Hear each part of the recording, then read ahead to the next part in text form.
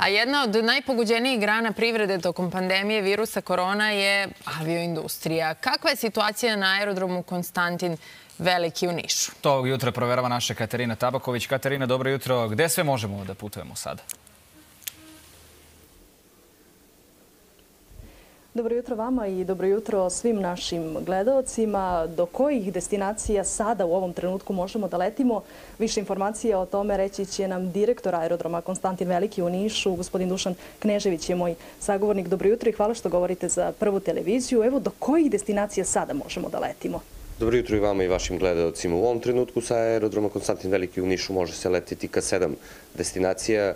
U ponudi su uh, letovi kompanije Vizer za Dortmund, Memmingen i Basel, kompanije Ryanair za Bergamo, Štokholm i Beč i naravno uh, let za Frankfurt Han kompanije Air Serbia. Šta nas očekuje u narednom periodu? Hoće li biti još nekih novih letova?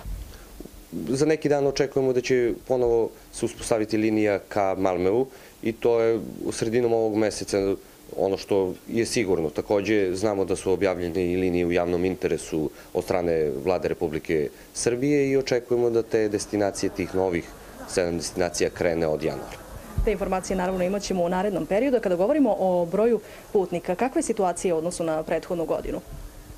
Nažalost, ove godine nećemo uspjeti da stignemo rezultat iz prethodne godine kada smo imali 154.000 putnika. U ovom trenutku tu smo na 133.000 putnika i očekujemo da ćemo da budemo preko 140.000 putnika. Nažalost, prva polovina godine bila je zaista zaista loša, pre svega zbog situacije izazvane pandemijom koronavirus.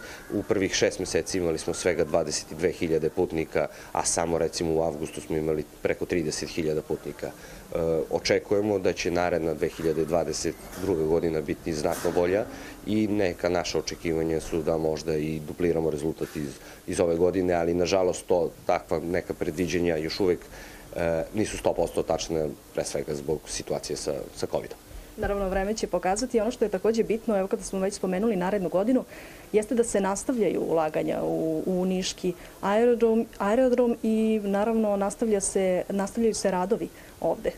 Pa vidite, mi smo u prethodnih par godina obnovili kompletnu opremu koja služi za obsluživanje vazduhoplova, kompletnu opremu e, koja je tu da e, pregled obezbeđivanja i naravno završili smo i prilazna svetla kategorija 1 preciznog instrumentalnog prilaza, čime smo smanjili minimume za sletanje na naš aerodrom i naravno podigli nivo bezbednosti na jedan znatno, znatno viši nivo. Ono što je u toku, radimo čak četiri projekta, to su projekat proširenja terminalne zgrade, projekat izgradnje tornja, projekat u uređenja, par, uh, parternog uređenja i projekat proširenja platforme. Takođe radit ćemo u narednom periodu i projekat uh, nove rulne staze, tako da zaista bez obzira na taj manji broj putnika ovde na Niškom aerodomu zaista ima dosta stvari na kojima radimo i koje nas očekuju u godinama koje su pred nama.